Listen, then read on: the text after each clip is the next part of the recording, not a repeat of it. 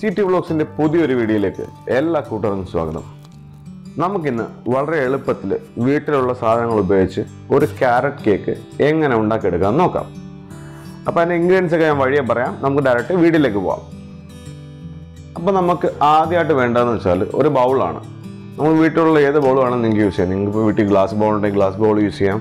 അതല്ല ഇപ്പോൾ സ്റ്റീൽ പാത്രങ്ങളോ വേറെ ഏത് പാത്രം വേണമെങ്കിലും എന്ത് വേണമെങ്കിലും യൂസ് ചെയ്യാം. നമുക്ക് ഈ സാധനം ഒന്ന് മിക്സ് എടുക്കണം അത്രേ ഉള്ളൂ. അപ്പോൾ ഞാൻ ആ ബൗളിലേക്ക് ഒരു നാല് മുട്ട പൊട്ടിച്ചൊഴിക്കുകയാണ്. അതാണ് നമുക്ക് ഇതിലേക്ക് ആദ്യമായിട്ട് ചെയ്യേണ്ട പരിപാടി. ഇനി ആ നാല് മുട്ടയും നമ്മളൊരു ബീറ്ററോ നിങ്ങളിപ്പോൾ വീട്ടിലുള്ള സ്പൂണോ തവിയോ അല്ലെങ്കിൽ ഫോർക്കോ എന്ത് വേണമെങ്കിലും വെച്ചിട്ട് ഈ നല്ല രീതിയിലൊന്ന് ബീറ്റ് എടുക്കണം അപ്പോൾ ഞാനിവിടെ ബീറ്ററാണ് യൂസ് ചെയ്യുന്നത്. നിങ്ങൾക്ക് എന്ത് വേണമെങ്കിലും യൂസ് ചെയ്യാം. നിങ്ങളുടെ വീട്ടിൽ എന്ത് സാധനമാണോ അവൈലബിൾ ഉള്ളത് അത് വെച്ച് നിങ്ങൾ ബീറ്റ് എടുത്താൽ മതി.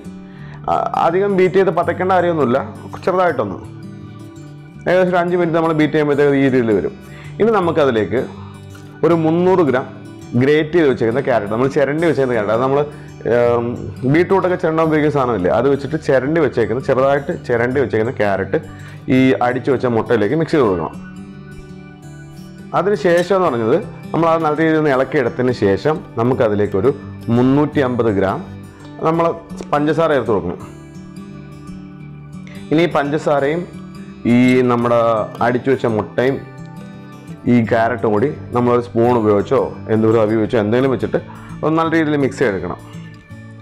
അതിനുശേഷം നമുക്ക് ചേർക്കേണ്ടതെന്ന് വെച്ചാൽ നമുക്ക് വീട്ടിൽ അവൈലബിൾ ആയിട്ടുള്ള വെജിറ്റബിൾ ഓയിൽ ഏതെങ്കിലും ഒരു മുന്നൂറ്റി എഴുപത്തഞ്ച് എം എൽ ഇതിലേക്ക് ചേർത്ത് കൊടുക്കണം. വെളിച്ചെണ്ണ കഴിവതും ഒഴിവാക്കണം. വെളിച്ചെണ്ണയ്ക്ക് നമുക്കൊരു ഒരു മണം ഉണ്ടല്ലോ ആ മണം നമ്മളെ കേക്കിന് വേണ്ട. അതുകൊണ്ട് നമുക്ക് ഏതെങ്കിലും ഒരു രീതിയിലുള്ളൊരു വെജിറ്റബിൾ ഓയിൽ ഇതിലേക്ക് ചേർത്ത് കൊടുക്കണം. ഇനി നമുക്ക് അതിലേക്ക് ചേർക്കേണ്ടതെന്ന് വെച്ചാൽ ഒരു ഹാഫ് ടീസ്പൂൺ ഒരു അര ടീസ്പൂൺ ഉപ്പാണ്. പിന്നെ നമുക്ക് അതിലേക്ക് ചേർക്കേണ്ടതെന്ന് പറഞ്ഞാൽ ഒരു രണ്ട് ടീസ്പൂൺ പട്ട സിനമൺ പൗഡർ. ഇതെല്ലാം കൂടി ചേർത്തിട്ട് നമുക്ക് നല്ല രീതിയിൽ ഒന്ന് മിക്സ് ചെയ്തെടുക്കണം. അത് കഴിഞ്ഞിട്ട് നമുക്ക് ചേർക്കാനുള്ളതെന്ന് വെച്ചാൽ നമുക്ക് സാധാരണ എല്ലായിടത്തും വെടിയാൻ കിട്ടുന്നതാണ് വാനില സിറപ്പ്. ഒരു ടേബിൾ സ്പൂൺ വാനില സിറപ്പ് കൂടി ഇതിലേക്ക് ചേർത്ത് കൊടുക്കണം. ഇനി ചെയ്യേണ്ടതെന്ന് വെച്ചാൽ ഒരു ഇരുന്നൂറ്റി അമ്പത് ഗ്രാം മൈദ ഇതിലേക്ക് അരിച്ച് ചേർത്ത് കൊടുക്കണം. ഈ മൈദയുടെ കൂടെ തന്നെ നമുക്കൊരു രണ്ട് ടേബിൾ സ്പൂൺ ബേക്കിംഗ് പൗഡർ ഇട്ടിട്ട് നല്ല രീതിയിൽ ഒന്ന് അരിച്ച് ഈ ബാറ്ററിലേക്ക് ഇടണം. അപ്പോൾ നിങ്ങൾ വിചാരിക്കുന്ന പോലെ ഒരു വലിയ ഒരു ബേക്കറിയിൽ കിട്ടുന്ന പോലത്തെ ഒരു കേക്കല്ല നമുക്ക് പ്ലം കേക്ക് പോലെ ഇരിക്കും. അധികം മായങ്ങളും കളറുകളോ കാര്യങ്ങളൊന്നും ഇല്ലാതെ നമുക്ക് വളരെ വീട്ടിൽ വളരെ എളുപ്പത്തിൽ ചെയ്തെടുക്കുന്ന ഒരു കേക്ക് നമുക്ക് കുട്ടികൾക്ക് കൊടുക്കാൻ ഏറ്റവും ബെസ്റ്റ് സാധനമാണ്. ധൈര്യമായിട്ട് നമുക്ക് നമ്മൾ കുട്ടികൾക്ക് കൊടുക്കാം. ഇനി ഇതെല്ലാം കൂടി ചേർത്ത് നമുക്ക് നല്ല രീതിയിലൊന്ന് മിക്സ് ചെയ്തെടുക്കണം. ഇപ്പം ഏകദേശം നമ്മുടെ കേക്കിന്റെ ബാറ്റർ ആയി വരുന്നുണ്ട്.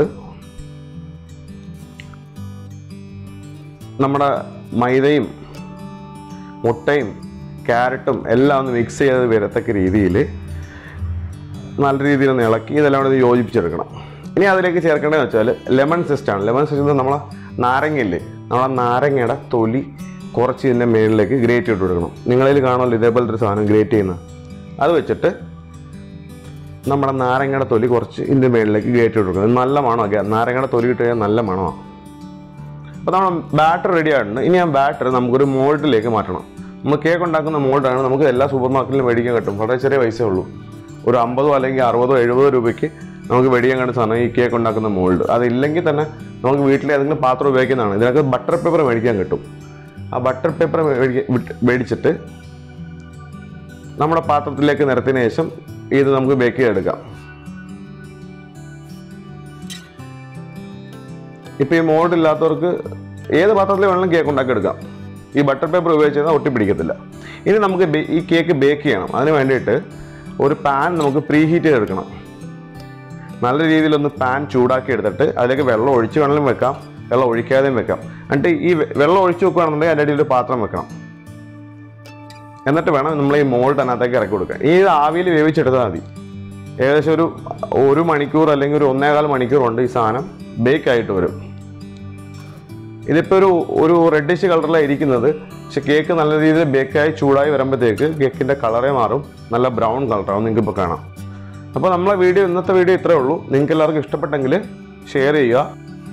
നിങ്ങൾക്ക് വീഡിയോ ഇഷ്ടപ്പെട്ടെങ്കിൽ ചാനൽ സബ്സ്ക്രൈബ് ചെയ്യാൻ മറക്കരുത്. അതേപോലെ നിങ്ങളെ അഭിപ്രായങ്ങൾ കമന്റ് ചെയ്യുക.